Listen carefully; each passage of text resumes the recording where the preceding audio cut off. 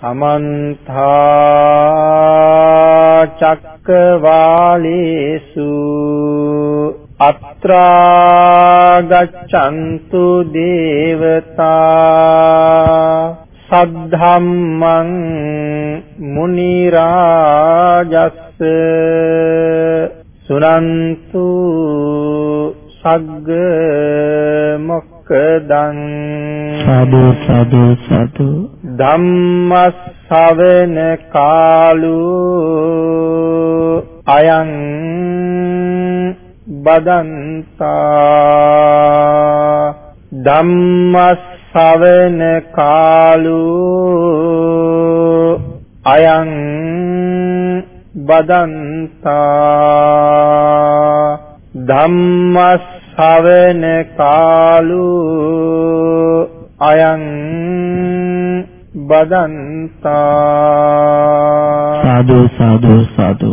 නමෝ තස්ස භගවතු අරහතු සබ්බ ධම්මේසු අප්පටිහත ඥානචාරස්ස දස බලධරස්ස චතු වේසාරජ්‍ය විසරදස්ස සබ්බ සත්තුත්තමස්ස ධම්මිස්ස රස්ස ධම්ම රාජස්ස ධම්මස්සාමිස්ස තථාගතස්ස සබ්බඤුනෝ සම්මා සම්බුද්දස්ස නමෝ තස්ස භගවතු අරහතු සබ්බ ධම්මේසු අප්පටිහත ඥානචාරස්ස දස බලධරස්ස චතු වේසාරජ්‍ය විසරදස්ස සබ්බ සත්තුත්තමස්ස ධම්මිස්ස රස්ස ධම්ම රාජස්ස ධම්මස්සාමිස්ස තථාගතස්ස සබ්බඤුනෝ සම්මා සම්බුද්දස්ස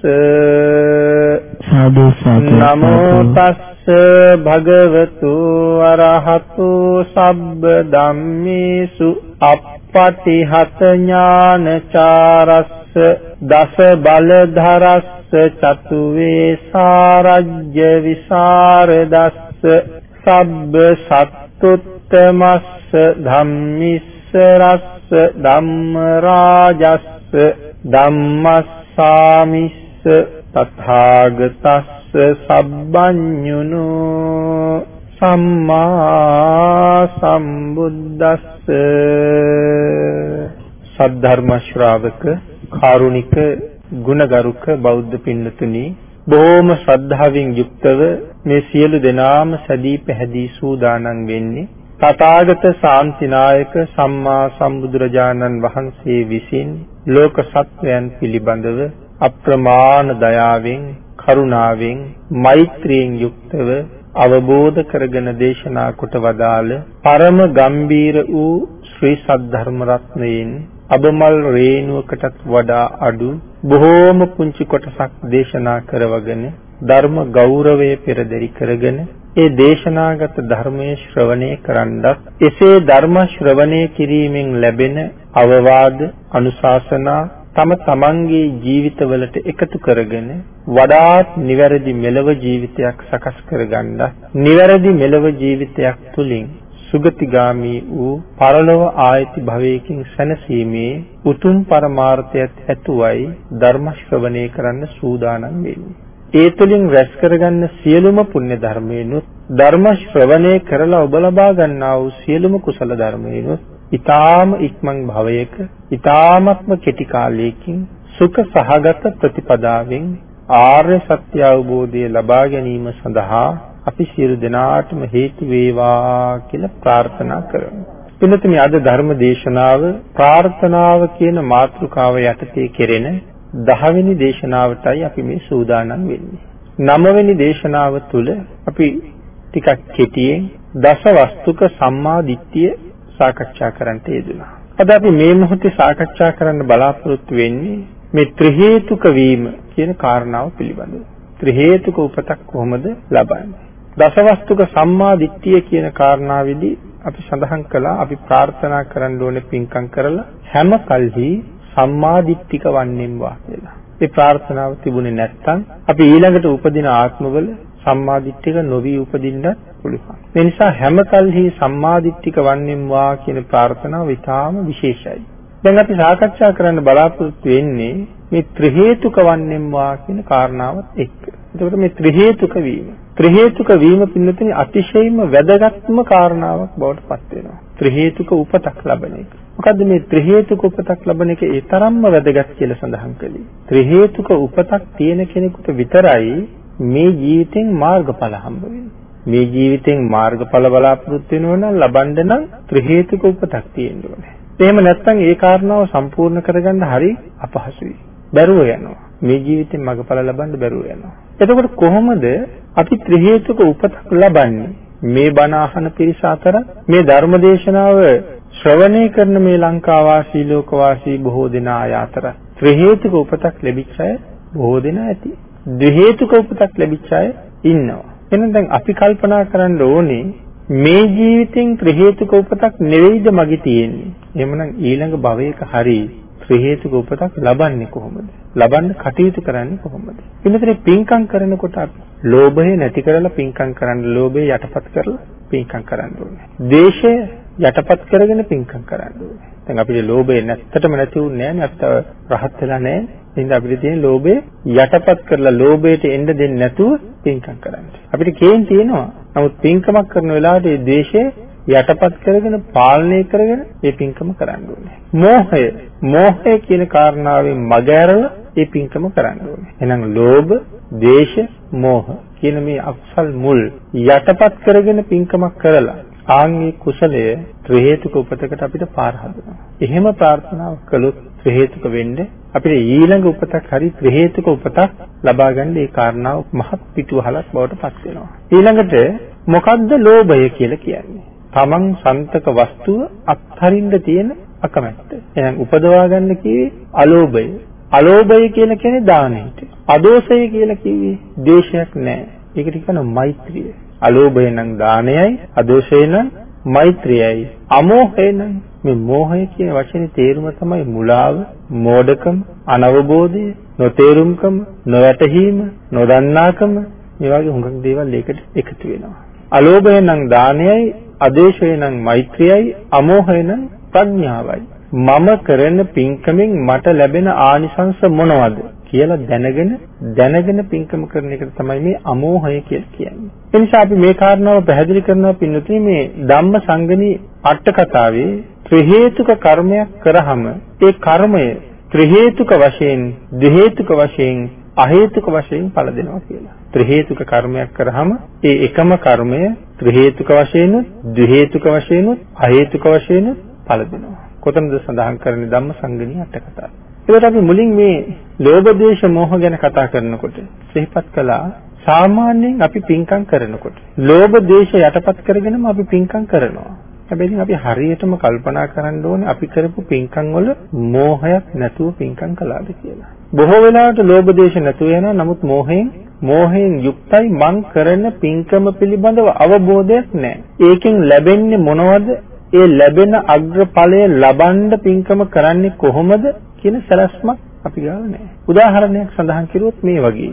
පුංචි දරුවත් එක්ක කරගෙන අපි පන්සලට ගියහම අම්මලා කියනවා ස්වාමින් වහන්සේ දැක්කහම පුතේ වඳින්න. මේ ඉන්නේ අපේ හාමුදුරුවෝ වන්දනා කරන්න කියලා කියනවා. ඒකට අම්මා තාත්තා කියපු නිසා ඒ දරුවා වඳිනවා. එයාගේ හිතේ ලෝභයකුත් නැහැ, ද්වේෂසහගත හිතකුත් නැහැ. හැබැයි වැන්දහම මට මොනවද හම්බෙන්නේ කියලා දන්නේ මේ වැඳීමෙන් මට ලැබෙන්නේ මොනවද කියලා දන්නේ ගුණවතුන්ට වැඳහම ධර්මතා කීයක් ලැබෙනවද? හතරයි. මොනවද ගුණවතුන්ට වැඳහම ලැබෙන්නේ? ආයු, වර්ණ, සැප, බල.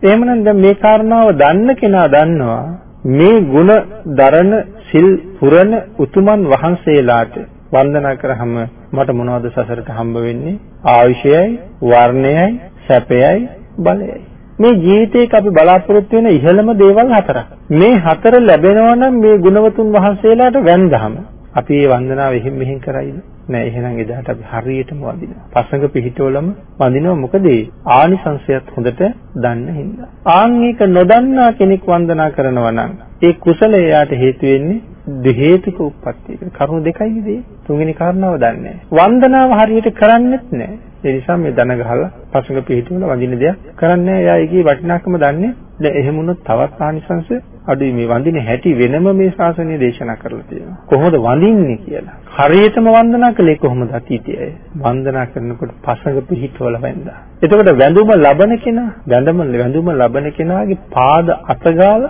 පාද සම්බාහනය කර කර තමයි වැඳේ. ධම්මචේතිය සූත්‍රයේ සඳහන් කරනවා කොසල් රජුරු අපේ බුදුරජාණන් වහන්සේ ළඟට ගිහිල්ලා දන ගහගෙන මේ පසඟ පිහිටවාගෙන තමන්ගේ අත භාග්‍යතුන් වහන්සේගේ ශ්‍රී පාද ධාතුව මත තියාගෙන මේ හාත්පස විලුඹ පැත්තේ ඉඳලා මේ පාදය සම්බාහනය කරනවා. සම්බාහනය කර කර සම්බාහනය කර කර වඳිනවා. මේ පාද අත ගන්නකොට පතුල් අත ගන්නකොට කෙනෙකුට ලොකු සුවයක් දැනෙනවා. එතකොට ප්‍රතිග්‍රාහකයාට අපි ලොකු පහසුවක් සුවයක් දානය කරමින් තමයි වන්දනා කරන්නේ. කොසල් රජුරු භාග්‍යතුන් වහන්සේගේ සිරිපා ධාතුව සම්බාහනය කර කර බුදුරජාණන් වහන්සේට කියනවා ස්වාමීනි මම කොසල් රජු වෙමි ස්වාමීනි මම කොසල් රජු වෙමි. ස්වාමීනි මම කොසල් රජු වෙමි කී කියා තමයි වන්දනා කරන්නේ. එතකොට නිවැරදිම වන්දනාව පසඟ පිහිටවල වඳිනවා ඊළඟට පාද සම්බාහනය කර කර වඳිනවා. ඒක තමයි හරිම වන්දනාව. එතකොට මෙවුව ඇයි මේ සටහන් කරලා නැත්තේ අපිට බොහොම පහසුවෙන් දැනගන්න දකින්නේ? මෙවුව මේ ශාසනයේ ඊටාම පුංචි තැනක තියෙන දේවල්. ඒකත් දන්නේ නැත්නම් කියන්නේ වඳින්නවත් දන්නේ නැහැ කියන කාරණාවනේ. මේ බුද්ධ ශාසනයට ආපු කෙනෙක් වඳින්න දන්නේ නැත්තේ නෑ. එහෙනම් ඒ කරුණු හැමතැනම සඳහන් කරලා දැන් මේවා මූලික දේවල්. එහෙනම් කොහොමද හරියටම වඳින්නේ පාද සම්බාහනය කරලා. එතකොට තව කෙනෙක් එතකොට හිතන්න පුළුවන් එහෙමනම් ස්වාමින් වහන්සේ නමකට වඳිනකොට ස්ත්‍රියක් පාද ස්පර්ශ කරන එක හොඳයිද? මේ ප්‍රශ්නේ අද විතරක් නෙමෙයි එදත් ආවා. ඒ නිසා මේක වාග්යතුන් වහන්සේ ළඟට ගියා. මොකද මාර්ගඵල ලබාපු භික්ෂුණීන් වහන්සේලා හිටියා. බොහෝම සිල් පුරන භික්ෂුණීන් වහන්සේලා හිටියා. රහතන් වහන්සේලාත් හිටියා. ඒතකොට ගිහි පිරිමි කෙනෙක් වහන්සේලාගේ පාද ස්පර්ශ කරන එක කැපද? කාන්තා පාර්ශවයේ ආර්යයන් වහන්සේලාගේ ඉඳලා කෘතඥ සීලවන්ත ස්වාමීන් වහන්සේලා දක්වාම පාද ස්පර්ශ කරන එක කැපද? මේ ප්‍රශ්නේ ගියා බුදුරජාණන් වහන්සේ ගාවට. භාග්‍යතුන් වහන්සේකට අවසරයක් දුන්නා වන්දනාවේදී ස්පර්ශ කළාට කමක් නැහැ කියලා. ඒකට අවසර තියෙනවා. එතකොට ඒකට වෙනම නීති රීති තියෙනවා. ඒ ස්පර්ශය සම්බන්ධයෙන් නෙවෙයි. බික්කිනි කන්දකේ අවසර දීලම තියෙනවා භික්ෂුණීන් වහන්සේලාගේ පාද ස්පර්ශ කරලා වන්දනා කරන්න පුළුවන් කියලා. ඒකට භික්ෂුන් වහන්සේලාට දැන් එතකොට කෙනෙකුට හිතන්න පුළුවන් කාන්තාවක් එහෙම පාද අත ගන්න එක කැපද? භාග්‍යතුන් වහන්සේ වෙනම දේශනා කරලා තිනවා ඊළඟට විනය ශික්ෂාපද. භික්ෂුන් වහන්සේලාට උපසම්පදා භික්ෂුන් වහන්සේලාට ප්‍රාතිමෝක්ෂයේ ශික්ෂාපද තියෙනවා 220ක්. ඒකෙන් ගරු ශික්ෂාපද හතරක් තියෙනවා. මොකද ඒ හතරෙන් එකක් කැඩුනොත් මහානකමම නැතුව යනවා. ඒකට කියනවා පරාජිකා කියලා. ඒ සතර පරාජිකාවෙන් පස්සේ තියෙන සංඝාදිශේෂ කියලා කොටසක්. අන් සංඝාදිශේෂ කොටසේ ওই පාද ස්පර්ශ කිරීමේදී ඇතිවෙන යම් යම් ප්‍රශ්න වලට උත්තර උත්තර දීලා තියෙනවා. සමහර වෙලාවට පුතඥ ස්වාමින් වහන්සේ නමකට කෙනෙක් පාද ස්පර්ශ කරනකොට රාගසිතක් ඇති වෙන්න ඇති වෙන්න පුළුවන්. හැබැයි රාගසිතක් ඇති වුණා කියලා උන්වහන්සේට වෙන වරදක් වරදක් නෑ. රාගසිතේ අකුසලේ තියෙනවා.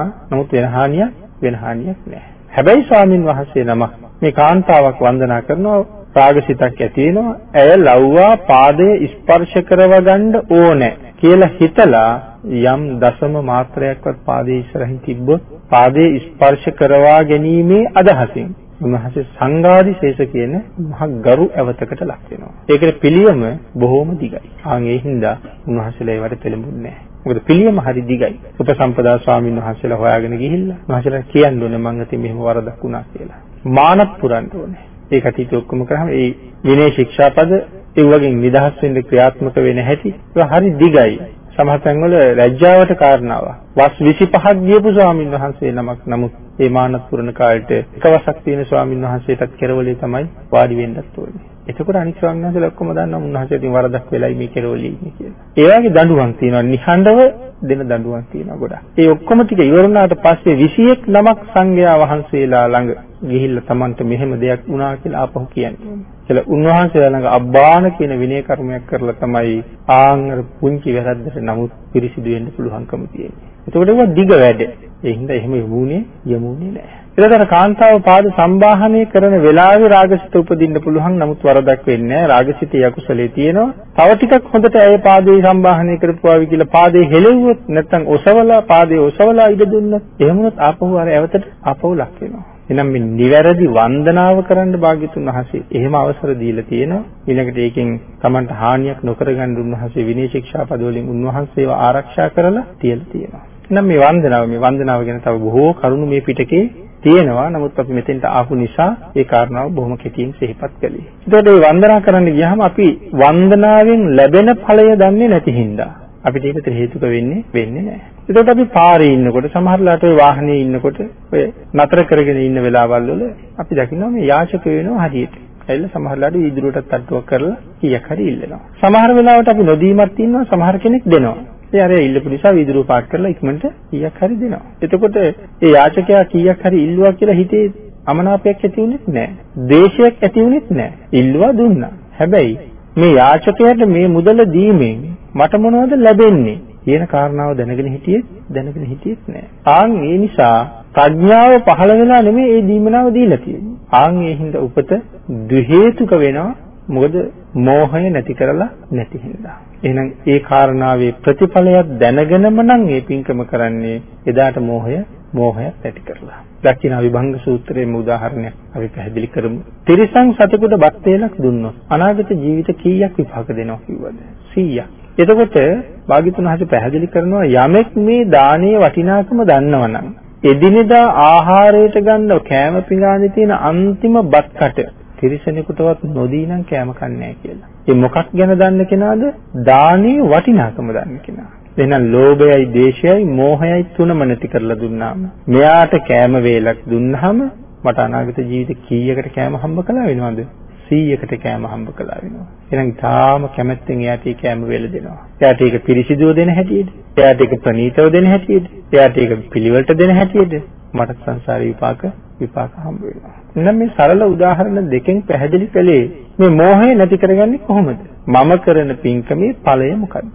එතකොට මේ දානය ගැන විතරද මේ දන් දෙන්න පුළුවන් ආහාර විතරද? තව කොච්චර දේවල් මේ ලෝකෙ දන් දෙන්න පුළුවන්ද? අපි බුදුරජාණන් වහන්සේට මල් පූජා කරනවා. ඒක දානයක් වෙන්නේ නැද්ද එතකොට? ඒකත් දානයක්. මල් පූජාවක කොයිතරම් ආනිසංස තියෙනවද? මල් පූජාවෙන් පූජාවල් තුනක් මුදුන්පත් කරන්න පුළුවන්. අපි හිතාගෙන ඉන්නේ මල් පූජා කළා විතරයි කියලානේ. නෑ ඒකෙන් පූජාවන් තුනක් මුදුන්පත් කරන්නේ. එකක් වර්ණ පූජාව. මල් වල තියෙන ලස්සන වර්ණය භාග්‍යතුන් වහන්සේට පූජා කරන්න පුළුවන්. මල් වල තියෙන සුවඳ ඒ සුවඳ ආය වෙනම වෙනම පූජා කරන්න පුළුවන්. සමහර මල් තියෙනවා ඇඟේ ගෑවෙනකොට හරි හරිම සුමුදුයි, මෘදුයි. ඒ නිසා හරි සුව පහසු ස්පර්ශයක් දැනෙනවා සමහර මල් පෙති ඇඟේ ගෑවෙනකොට. රෝස මල් පෙති වගේ. ආන් ඒ හින්දා භාග්‍යතුන් වහන්සේ ළඟ පූජා කරනකොට මේ මෘදු සුමුදු ස්පර්ශයක් තියෙන මල් සමහරලාට බුදුරජාණන් වහන්සේ ළඟින්ම පූජා කරනවා. ඇඟේ ගෑවුනත් හරි පහසුයි සැපයි. සුවඳ මල් සුවඳ මල් ඊළඟට පූජා කරනවා. තව අපි පූජා කරන වෛවාරණ පාට තියෙන මල් තියෙනවා. ඒ මල් වලින් වර්ණයත් එක්ක බුදුරජාණන් වහන්සේ ළඟ අපිට මල් වලින් විවිධ රටා හදන්න පුළුවන්. එතකොට මේ රටා හදන්න මේ පාට පාට මල් බොහොම වටිනවා. ගැලපෙනවා. ඒකවල මේ හැම එකකින්ම මොන පූජාවල් කීයක් මුදුන්පත් වෙනවද? වර්ණ පූජාවයි, සුවඳ පූජාවයි, මෘදු සුමුදු බව පූජා කිරීමයි. එතකොට ඒ වගේ තියෙන ආනිසංස වෙන වෙනම තියෙනවා. සුවඳ පූජා කරාම විශේෂයෙන් ලැබෙන ආනිසංස මොනවද? සුවඳ පූජා කරාම ආනිසංස 10ක් හම්බ වෙනවා. ඒ 10න් 7ක් ප්‍රඥා වර්ග 7ක් ලැබෙනවා.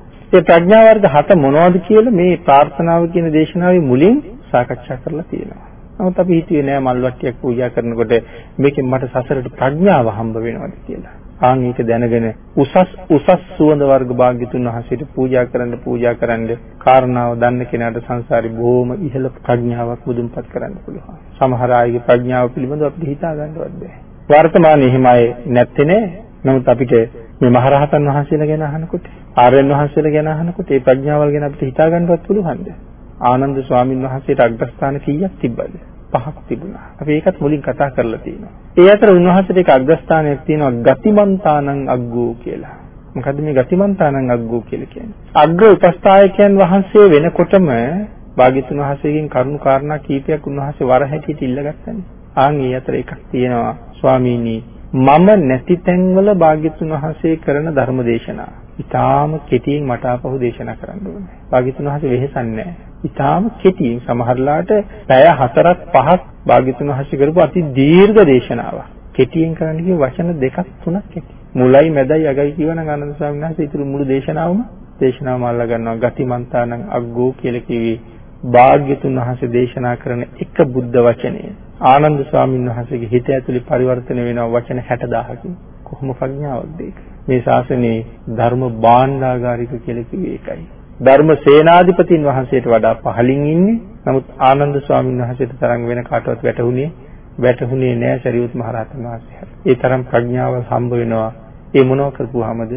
මේ සුවඳ පූජාව ඒකට ඊටාම තාම ශ්‍රේෂ්ඨයි. ඒ හින්දා අපි එහෙම පූජාවල් කරනකොට ඒ කරුණ දැනගෙන පූජා කරන්න ඕනේ. මොනවා හරි මල් ටිකක් ගෙනහිල්ලා පූජා කරනකොට වඩා භාග්‍යතුන් හදේ සුවඳ මල් ටිකක් පූජා කරන්න තිබුණා. ලස්සන වර්ණවත් මල් ටිකක් පූජා කරන්න තිබුණා. අලුත් මල් ටිකක් පූජා කරන්න තිබුණා. ආන් එහෙම පූජාව හැම වෙලාවෙම සැලසුම් කර කර හිත හිත හිත හිත සම්පූර්ණ කරගත්තාම ඒකේ ශ්‍රේෂ්ඨත්වයේ වටිනාකම කවදාවත් අපිට හීන වෙන්නේ හීන වෙන්නේ නැහැ. ඒක සංසාරේට විපාක දෙනවමයි. මේ ජීවිතේට ඒක අනියතයි. ඒක මේ ජීවිතේ විපාක දෙන්නේ හැබැයි මේ කයෙන් ප්‍රාණවායුවේ නික්මිච්ච තැන ඉඳලා ඊළඟ භවයක් භවයක් ගානේ මට ඒක විපාක දෙන්න පටන් ගන්නවා. මේ ජීවිතෙන් අනියතයි. එතනින් එහාට ඉස්සරහට ජීවිත හැම එකම නියතමයි ඒක විපාක දෙනවා. ආන් එහෙනම් ඒ කරුණු දැනගෙන තමයි පූජාව කරන්න ඕනේ. ඒතකොට මේ ශාසනයෙන් උසස් ඵල ලබනද අපි මොනතරම් දැනුවත් වෙලා පින්කම් කරන්න ඕනේද? දැනුවත් වෙලා කරන පින්කම කොච්චර ඉහළද? ඒතකොට මේ මල් පූජාවෙන් මට ප්‍රාර්ථනා කරන්නත් පුළුවන් ආනිසංස 10ම සිහිපත් කළා මේ ආනිසංස ඔක්කොම මට ලැබෙන්න ඕනේ කියලා. නියත වශයෙන්ම ලැබෙයි. නියත වශයෙන්ම ලැබෙන්න නම් තවත් කරුණු පහක් සම්පූර්ණ කරන්න ඕනේ. ඒවට මොනවද කියන්නේ? ඒවට කියන පංච ධර්ම කියලා. ශ්‍රද්ධාව, සීලය, ශ්‍රුතය, ත්‍යාගය, ප්‍රඥාව. මේ පහක් තියෙනවා නම් පූජාවත් හරියට කළා නම් ප්‍රාර්ථනාවත් හරියට වුණා නම් ඒක නියත වශයෙන්ම විපාක දෙනවා කියන කාරණාව භාග්‍යතුන් වහන්සේ මනාව පැහැදිලි කරලා තියෙනවා. එතකොට මේ ත්‍රි හේතුක වෙන හැටි. ද්වි හේතුක වෙන්නේ ලෝභ දේශ විතරක් නැති කරගෙන දන් දුන්නා මෝහය නැති වුණේ නෑ. ඒ කියන්නේ මේ පූජාවේ වටිනාකම ආනිසංසය දන්නේ නෑ. එහෙම පින්කම් කරාම ද්වි හේතුක උපත් ලැබෙනවා. ද්වි හේතුක උපතක් ලැබුණාම මේ ජීවිතේ මාර්ගඵල නම් හම්බෙන්නේ හම්බෙන්නේ නැහැ. හැබැයි ධර්මාවබෝධය ලබන්න බැරිකමකුත් නැහැ. මාර්ගඵල ලැබෙන්නේ ධර්මාවබෝධය ලැබෙනවා. ඊළඟට පින්නතුනි අපි පිටකීම දේශනා කරලා තියෙනවා යම් පුජ්‍යලයකට මගඵල ලබන්න ක්‍රමයක් දේශනා කරා. ඒ හේතුක උපතකුත් නැහැ. නමුත් මගඵල ලැබෙන ක්‍රමයක් දේශනා කළා මොකද්ද? හරියටම ත්‍රිපිටකය ඉගෙන ගන්න දේශනා කළා. හරියටම ත්‍රිපිටකය ඉගෙන ගන්න. ඒතර මොකද්ද කොහොමද මේ හරියටම ඉගෙන ගන්නේ? සුතා හොඳට අහන්න ඕනේ. හොඳට ධර්මය අහන්න ඕනේ. දතා ධාරණය කරගන්න ඕනේ. මතක තියාගන්න ඕනේ. වචසා ಪರಿචිතා. වචනෙන් වචනය ප්‍රගුණ කරන්න ඕනේ.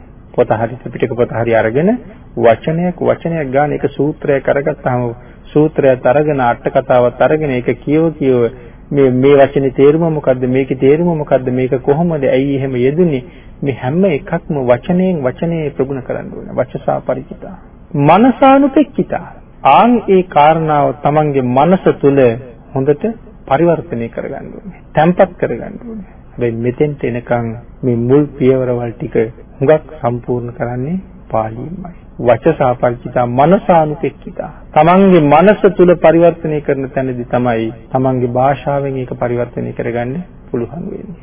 එහෙමනම් පාලි භාෂාව පිළිබඳව දැනුමකුත් මේ ත්‍රිපිටකය ඉගෙන ගන්න අවශ්‍ය අවශ්‍ය වෙනවා. දැන් එතකොට මොකද්ද මේ කියන්න හදන්නේ ත්‍රි හේතුක නුනත් මගඵල ලැබෙන ක්‍රමයක් ගැන. මේ සසරින් මිදෙනවා කියන එක මොන තරම් ශ්‍රේෂ්ඨද? සෝවාන් බව කියන එක ආත්ම කෝටි ප්‍රකෝටි ගානකට පින්නතේ හම්බෙන්නේ නැහැ. ඒක ඒ තරම්ම දුර්ලභව හම්බ වෙන වස්තුවක් සෝවාන් බව කියන එක. අද නම් අද සමහර වෙලාවට මේ සමහර අයට මේ දවස් 15න් සෝවාන් කරන්න පුළුවන්. ඒ වගේ මිත්‍යා දෘෂ්ටි ලංකාව පුරා අද තියෙනවා. සමහර අය සහතිකත් ලියලා දෙනවා සෝවාන් වුණා කියලා. එහෙම පුළුවන් වුණා නම් අපි මෙච්චර මොකටද මේ සංසාරේ ආවේ? අනමතග්ග සංයුත්තේ කොහොමද දේශනා කළේ? මේ ජීවිතේ මගේ අම්මා මැරුණට පස්සේ ඒ අම්මා වෙනුවෙන් මේ ජීවිතෙත් හඳලා. එහෙම නැත්නම් මේ ජීවිතේ මගේ අම්මා වෙනුවෙන් ඇය පෙර ජීවිතවල මගේ අම්මා වෙලා ඇය මැරුණට පස්සේ මට ඇතිවෙච්ච දුකට මගේ ඇහෙන් වැටිච්ච කඳුළු භාග්‍යතුන් වහන්සේ කොච්චරද දේශනා කළේ? සාගර ජලස්කන්ධයට වඩා වැඩි එක අම්මා කෙනෙක් වෙනුවෙන් අඬපු කඳුළු. ඒ මේ අම්මා වෙනුවෙන්මයි පෙර. එතකොට අපි මහා මුහුද දැකලා තියෙනවද? ළඟට ගියහම දැකලා තියෙනවා ඇහි මානෙට පේන ටික.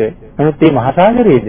නෑ මහසાગරයේ අපි නොදැක්කට වඩා තව කෝටි ප්‍රකෝටි ගණන් සාගරේම විශාලයි. යොදුන් 84000ක් විතර යටට ගැඹුරුයි. අපිට පේන සාගරයේ ඔය පෙරලෙන රැල්ලක තියෙන වතුර ප්‍රමාණය කොච්චරද කියලා හිතා ගන්නවත් මේ ජීවිතේ බැරි නම් යොදුන් 84000ක් ගැඹුරු මේ සාගරයේ තියෙන ජලස්කන්ධය ගැන කොහේ කොහේ හිතන්නේද? නමුත් ආන් ඒ ජල කඳට වැඩිය එක අම්මා කෙනෙක් වෙනුවෙන් සංසාරේ අඬලා තියෙනවා කියලයි දේශනා කරන්නේ. මේ ජීවිතේ අම්මා වෙනුවෙන් ඇඬුවා නම් අම්මා මැරුණට පස්සේ හිතලා බලන්නකෝ කඳුළු කෝප්පයක් පුරවන්න අඬන්න පුළුවන් වේද කියලා. අඬු කෝප්පයක් පිරෙන්න කඳුළු අඬනවද? නෑ. අඬු කෝප්පයක් පිරෙන්නේ ඇඬුවට. එච්චර අඬන්නේ අඬන්නේ නෑ. එහෙම වෙන්නේ නැත්නම් එක ජීවිතයක දෙයනේ අර සාගර ජලයට වඩා අඬන්නේ. එහෙනම් කොහොම සෝවාන් වෙන්න පහසු නම් ඉතින් ඇයි මෙච්චර කල් අපි ඇවිල්ලා තියෙන්නේ? එහෙනම් හරියටම නිර්මලම ධර්මයේ කොහෙද කියලාම හොයාගත්තේ නැත්නම් ඒත් සංසාරේ අපි හරියට අමාරු වෙටිනවා. ආන් ඒ සෝවාන් මාර්ගයේ තරම්ම තරම්ම දුර්ලභයි. ඒ දුර්ලභ වූ ආර්ය தත්වයටපත් වෙන්නේ මේ භාග්‍යතුන් වහන්සේගේ ධර්මයෙන් විතරමයි අපිට උපකාර කරලා තියෙන්නේ. එහෙනම් අති දීර්ඝ මේ භව කතරේ මේ අති උතුම් තැනට එන්න පුළුවන් නම් මනාව ත්‍රිපිටකය අධ්‍යයනය කරගත්තාම අපිට ඒකෙන් තියෙන ලාභය කවදාවත් මේ ලෝකෙම තියෙන ධන සම්පත් වලින්වත් මිල කරන්න පුළුවන්ද? ඒක දන්නවා නම් හරියට pāli භාෂාව ඉගෙන ගන්නවා කියන එක අපිට අමාරු දෙයක්ද? අපි හුඟක් අය කියන්නේ අමාරුයි. ඒකයි ඉගෙන ගන්න නැත්තේ. ඒ pāli දන්නේ නැති කියම අමාරුයි. එතනම තියෙන ලොකු ආත්ම වංචාවක්. ඒ අමාරුයි කියන වචනේ ඇතුළෙම. අපි හිතලා බැලුවොත් pāli විතරද අමාරු? ඉංග්‍රීසි අමාරු නැද්ද කියලා කල්පනා කරලා බැලුවොත්. කී පාරක් ඉංග්‍රීසි විෂය හදාගන්න ඕනේ කියලා ආපහු ආපහු ආපහු ලීවද? ගණන් පාස් කරගන්න කී පාරක් ලීවද? එහෙනම් තිබිච්ච මේ හැම විෂයක්ම අමාරුයි. නමුත් මේ ලෞකික ලෝකයේ පොඩි ජයග්‍රහණයක් හොයාගන්න අපි ඒක වෙනුවෙන් විඳපුදු මේ පුංචි ජයග්‍රහණයක් හොයන්න. සමහර කෙනෙක් උසස් පෙළ විභාගයේ ලියලා ප්‍රතිඵල එනකන් මාස 3ක් විතර මාස දෙකමාරක් තුනමාරක් තුනක් ඉන්න කාලේ සම්පූර්ණයෙන්ම ජපන් භාෂාව හදාarලා ජපාන යනවා. මාස කීයද ගියේ තුනයි. සමහර කෙනෙක් ප්‍රංශ ඉගෙන ගත්තා. සමහර කෙනෙක් අරාබි ඉගෙන ගත්තා. මේ මාස 3ක් විතර කාලේ. එච්චර පුළුවන් නම් අපිට ප්‍රතිඵල එනකම් මාස 3ක් පාලි ඉගෙන ගත්තා නම් ඔය ඔක්කොටම වඩා ලාභයි කියලා හිතෙන්නේ නැද්ද දැන්? කොයි තරම් ප්‍රයෝජනයක් තියෙනවද? ආන් ඒ හින්දා මේ ප්‍රගුණ කිරීමේ මූලික කාරණා තුනම පාලියෙන් සම්පූර්ණ කරගන්න සම්පූර්ණ කරගන්න ඕනේ. අමාරුයිනේ කියලා හිතන්න එපා. මේ ජීවිතේම අපායින් නිදහස් වෙනවා නම් කොච්චර හොඳද? එහෙනම් ත්‍රිපිටකයේ මේ ආකාර පහකට සුතා, දතා, වචසා ಪರಿචිතා මනසානුපෙක්කිතා දික්ඛ්‍යා සුප්පටිවිද්දා. සෝතානුගත සූත්‍රයෙන් තමයි භාග්‍යතුන් වහන්සේ මේ පැහැදිලි කිරීම කරලා තියෙන්නේ. සෝතානුගත සූත්‍රයේ මීට කලින් දේශනාවක් හැටියට සාකච්ඡා කරලා තියෙනවා. එහෙනම් ත්‍රි හේතුක නුනත් මගඵල ලැබෙන ක්‍රමයක්. ඊළඟට භාග්‍යතුන් වහන්සේ පැහැදිලි කරනවා නැවත මැරිලා ඉපදිලා මගඵල ලැබෙන ක්‍රම හතරක් දේශනා කරලා තියෙනවා. ඒකත් තියෙන්නේ සෝතානුදත සූත්‍රයේමයි. ඒ මෙන්න මේ කතා කරපු විදිහට මනාව පිටකේ ප්‍රගුණ කරලා තියෙනවා නම් මගපල ලැබෙන ක්‍රම හතරක් මරුණට පස්සේ ඊළඟ භවී මගපල ලැබෙන ක්‍රම හතරක් වෙනම දේශනා කරලා තියෙනවා. ඊළඟට තුන්වෙනි මේ ත්‍රි හේතුක කර්මයක් කරාම අහේතුක විපාක දෙනවා කියලා කියන්නේ මොකක්ද? ත්‍රි හේතුක කර්මයක් කරාම අහේතුක විපාක දෙනවා කියලා කියන්නේ මොකක්ද කියන කාරණාව. ඒක සිහිපත් කරනවා යම් දානයක් දීලා එහෙම නැත්නම් සීලයක් රැකලා හෝ භාවනාවක් කරලා බුද්ධ ආදී ආර්යයන් වහන්සේලා දකින්න ලැබේවා. අපි ප්‍රාර්ථනා කරන දානයක් දීලා සීලයක් රැකලා භාවනාවක් කරලා අපි ප්‍රාර්ථනාවක් කරනවා මේ මහා කුසලයෙන් බුද්ධ ආදී ආර්යයන් වහන්සේලා දකින්න ලැබේවා කියන ප්‍රාර්ථනාවක් අපි කරනවා. ඊළඟට මේක පිටකයත් එක්ක පැහැදිලි කරන කරුණක් බොහොම ගැඹුරු කාරණාවක්. අභිධර්මයේ සම්බන්ධ කරගෙන සාකච්ඡා කරන්න ඕනේ කාරණාවක්. නමුත් බොහොම කෙටියෙන් මේ වෙලාවේ මේ සිහිපත් කරන්නේ භාග්‍යතුන් වහන්සේ අපි දකින්නේ දැන් ආර්යයන් වහන්සේලා දකින්න ලැබේවා කියලා ප්‍රාර්ථනා කිරී. එතකොට භාග්‍යතුන් වහන්සේ අපි දකින්නේ අපේ ඇහෙන්. බුද්ධ ආදී ආර්යයන් වහන්සේලා දකින්න ලැබේවා කියලා ප්‍රාර්ථනා කරන ඇහෙන් තමයි භාග්‍යතුන් වහන්සේ දකින්නේ. සඳහන් කරනවා ඇහි ඇතිවෙන සිතට කියන්නේ චක්කු විඥානය කියලා. ආන්හි පැහැදිලි කරනවා පින්දින මේ චක්කු විඥානය එතකොට කනේ ඇතිවෙන සිත සෝත විඥානය මේ සිත් අහේතුකයි. චක්කු විඥානය, සෝත විඥානය කියන මේ සිත් අහේතුකයි. ආන් ඒ වාගේ කර්ම වලින් මේ අහේතුක උපතක් ලැබෙන්නත් ලැබෙන්නත් පුළුවන්. තු හේතුක හෝ ද්වි හේතුක ප්‍රතිසන්දියක් ලැබෙනවා මිස අහේතුක නම් වෙන්නේ නැහැ කියලා සඳහන් කරන්නේ මේ කර්මය සහ විපාකය ගැන සඳහන් කරනකොට එහෙම පැහැදිලි කළා ප්‍රතිසන්දිය එහෙම නෙමෙයි ත්‍රි හේතුක කර්මයකින් ත්‍රි හේතුක හෝ ද්වි හේතුක කර්මයක් තමයි ලැබෙන්නේ ත්‍රි හේතුක කර්මයකින් ත්‍රි හේතුක හෝ ද්වි හේතුක උපතක් තමයි ලැබෙන්නේ අහේතුක වෙන්නේ නෑ ඒකට අර සඳහන් කෙරුවේ කොහොම ප්‍රාර්ථනා කරාමද මේ පින්කමේ බුද්ධාදී ආර්යයන් වහන්සේලා දකින්න ලැබේවා කියලා ප්‍රාර්ථනා කෙරුවොත් ලැබෙන කාරණාවක් හැටියටයි ඒක සිහිපත් කළේ. ඊළඟට මොකක්ද මේ අහේතුක උපත කියලා කියන්නේ? දි හේතුක උපතක් කියලා කිව්වේ අපි සඳහන් කළා මාර්ගඵල ලැබෙන්නේ නමුත් ධර්මාවබෝධයට බාධාවක් බාධාවක් නැහැ. ඊළඟට මේ අහේතුක කර්මය එතන සඳහන් කරනවා මේ උපත කීවේ උපතින්ම යම් කෙනෙක් අන්ධයි. අහේතුක කර්මයක් ඵල දීලා. ඉපදෙනකොටම අන්ධයි. එහෙම නැත්නම් ඉපදෙනකොටම ගොළුයි. ඉපදෙනකොටම බිහිරි. ඉපදෙනකොටම මානසිකත්වයේ හොඳ නැහැ. ඒ මේ වගේ දේවල් ඇති වෙලා උපදින්නේ. සමහරලාට අතපය කොර වෙලා. එහෙම ඉපදින්නේ කතා කරන්න බෑ. මේ තමයි අහේතුක අහේතුක උපත. ඊළඟට ද්වි හේතුක හෝ ත්‍රි හේතුක හිතක් තියෙන කෙනෙකුට තමයි ඉන්ද්‍රියන් සියල්ලම හොඳින් ලැබෙන්නේ. මොන හිතක්ද? ද්වි හේතුක හෝ ත්‍රි හේතුක. උපතක් තියෙන කෙනෙකුට සියලුම ඉන්ද්‍රියන් නිරෝගීව හොඳට ලැබෙනවා. ඒතර ඔබට ඔබ ගැන සතුටක් නැද්ද? අපිට සතුට වෙන්න යම් කාරණාවක් තියෙනවා. අපි කවුරුවත් අහේතුක නෙමෙයි. මේ බණහන ඔබ අතර ත්‍රි හේතුක උපතක් තියන අය ඉන්න ඉන්න පුළුවන්. එහෙම නුනනම් අපි ඔක්කොම ද්වි හේතුකයි කියලා හොඳටම දන්නවා. එතකොට තේරෙනවා සසර හොඳට පින් කරලා තියෙනවා කියලා. එහෙමනම් සසර පින් කරලම මේ ජීවිතේ හම්බුණා. සසර සිල් රැකලම මනුස්ස ජීවිතයක් හම්බුණා. අද මොකක් කල්පනා කරන්න ඕනේද එතකොට? සසර පින් කරලා සසර සිල් රැකලා මනුස්ස ජීවිතයක් හම්බුණා. සිල් රැකගෙන ඉඳන් මනුස්ස ජීවිතයක් හම්බුනේ. එහෙනම් මේ ජීවිතෙන් සිල් රැකේ නැත්නම් අය බලාපොරොත්තු වෙන්න එපා මනුස්ස ජීවිතයක් හම්බෙන්න. සීලය තමයි උපදින තැන තීරණය කරන්නේ. ඒක හොඳට මතක තියාගන්න ඕනේ ලොකු කුඩා ભેදයකින් තොරව ලොකු අයත් මැරෙන්න පුළුවන්, පොඩි අයත් මැරෙන්න පුළුවන්. ආන්ගේ හිඳ මතක තියාගන්න ඕනේ ආය උපදින තැන තීරණය කරන්නේ මොකෙන්ද? සීලය. සීලයක් නොතිබ්බොත් මේ කයෙන් ප්‍රාණවායුව පිට වෙනවත් එක්කම පෙර කුසල කර්මයක් එතෙන්ට හේතු වෙන්න පුළුවන්. පෙර සීලයක්, පෙර මහා පින. එහෙම වෙලා වෙනසක් නුනොත් මේ ශක්තිමත් පුජ්‍යලයක නමාපුවතක් දිකාරින්න කලින් දිගෑරපුවතක් නමන්න කලින් ඊළඟ ප්‍රතිසන්දිය කොහෙද ගන්නෙ? සතර අපායේ තැනක. මේ අපි ඔක්කොම ඉන්නේ ඒ තරම්ම භයානක තැනක මේ. ඔය වාඩි වෙලා ඉන්න කොට්ටේ උඩ දැන් හුස්ම ටික යන්නේ නැති වෙයි කියලා කාටවත් කියන්න පුළුවන්ද? කාටවත් කියන්න බෑ. අපි දන්නේ මේ මේ දැල් වෙන විදුලි පහන් ඊළඟ තත්පරේ නිමෙයිද විදුලිය යන්නේ නැති වෙයිද කියලා අපිට කියන්න කියන්න බෑ. ආන් ඒ වගේ තමයි ජීවිතෙත් ඊළඟ තත්පරේ මැරෙන්නේ නැහැ කියලා කාටවත් කියන්න කියන්න බෑ. ආන් ඒක එහෙම්මම වගේ හැම කෙනෙක්ම තමන්ගේ හෘදයාක්ෂයෙන් අහලා තියාගන්න දැන් මරුණොත් කොහෙද යන්නේ කියලා. ඒකද උත්තරයක් ඕනේ. ආන්ගේ උත්තරේ හදාගෙනම ජීවත් වෙන්න ඕනේ හැම වෙලාවෙම ලෑස්ති වෙලා ඉන්න ඕනේ. එන්න කීවේ කොයි වෙලාවෙද යන්නේ. හැබැයි අඬා අඬා යනවට වඩා හොඳයි hina වෙලා යන්න පුළුවන් නම්. එහෙනම් එවන් ජීවිතයක් පෝෂණය කරගන්න මේ සීලය හරි ගරුයි එහෙනම් පෙර සිල් රැකලා තියෙන බව තමයි ඔය ඔය කියාපාන්නේ. එහෙනම් ඒක මේ ජීවිතෙන් තව වඩා වර්ධනය කරගන්නවා මිසක් ආය ආපහු යන්න කටයුතු කරන්න හොඳ නැහැ. ආන් ඒ නිසා හැම කල්හි සීල සම්පන්න වන්නෙම්වා කියන ප්‍රාර්ථනාවත් උතුම් විදිහටම වටිනවා. ඒවත් හරි විශේෂ ප්‍රාර්ථනාවක්. ආන් ඒ නිසා පින්නතනේ යම් කෙනෙකුට හිතෙන්න පුළුවන් අපිට පින් අඩු නිසා වෙන්න ඇති මෙහෙම වෙන්නේ කියලා. අපිට සසර බොහොම පින් තියෙනවා. නමුත් අපි කාරණාව සම්පූර්ණ කරලා නැති හින්දා යෙදිලා නැති නිසා වීරිය වඩන්නේ නැති නිසා සමහර වෙලාවට අද මිනිස්සෙක් වෙලා ඉන්න මම ඊළඟ තප්පරේදී කෝගිය කියලා ඉපදෙන්න ඉපදෙන්න පුළුවන්.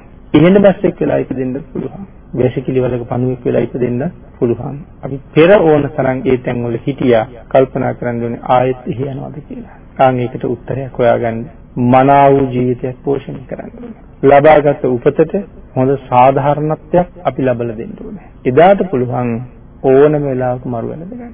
එහෙනම් ධර්මදේශනාවට තියෙන කාලය නිමා වෙලා නිසා දැනට අපි මේ ධර්මදේශනාව නවත්වමු. මේ ප්‍රාර්ථනාව කියන මාතෘකාව යටතේ කරන තවත් දේශනාවක් ඉදිරියට කරන්න ඉඩ තියාගෙන.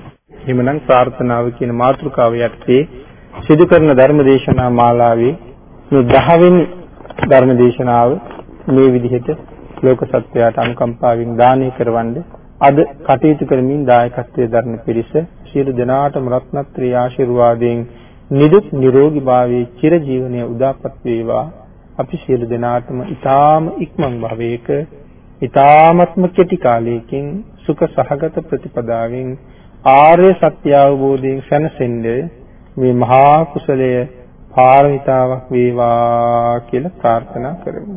ආකාසත්තා ච බුම්මත්තා දේවා නාග මහිද්దికා පුඤ්ඤන්තං අනුමෝදිත්වා චිරං රක්ඛන්තු ලෝක ශාසනං දේවෝ වස්සතු කාලේන සස්ය සම්පatti හෝතු ච පීතෝ භවතු ලෝකෝ ච රාජා භවතු ධම්මිකෝ